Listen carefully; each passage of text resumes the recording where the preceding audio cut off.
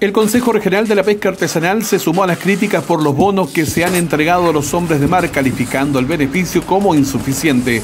También señalan su preocupación por la serie de trabas que existen para postular a recursos comprometidos por el gobierno regional. Del cual eh, estaría un compromiso de 300 millones para eh, pasarlo a la INDESPA y de la INDESPA eh, hacerlo llegar a, la pesca artesanal, para la gente que tiene hoy día problemas y que no tuvo acceso al último bono.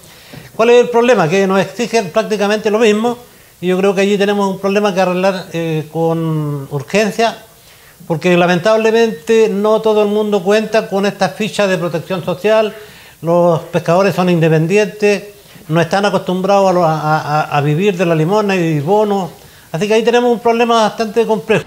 Los dirigentes reiteran su rechazo al modelo económico que existe hoy en Chile, que mantiene, señalan, a los trabajadores en precarias condiciones.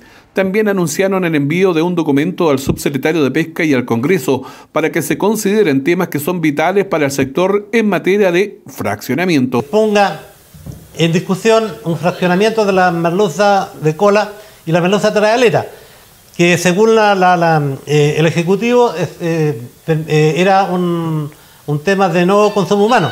Nosotros le hemos demostrado todo lo contrario, ya que la merluza de cola siempre ha sido una eh, eh, consumido por la pesca artesanal o, por la gente en consumo humano. Entonces, bajo ese, ese tema, eh, afortunadamente el, subsecretario nos ha dado respuesta inmediata de que va a tratar va a hacer las gestiones de poner este tema en discusión con las ambas comisiones de ambas cámaras.